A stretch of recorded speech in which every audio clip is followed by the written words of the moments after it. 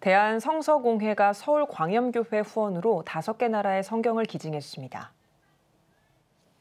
대한성서공회는 에리트레아와 피지, 북마케도니아 등 다섯 개 나라의 성경 약 2만 7천 부를 기증했다고 밝혔습니다.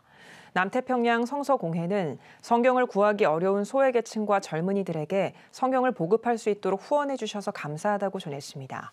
성서공회는 성경을 구하지 못했던 사람들이 새 소망을 품고 기독교인이라는 이유로 차별받는 가운데서도 신앙을 지킬 수 있길 소망한다고 밝혔습니다.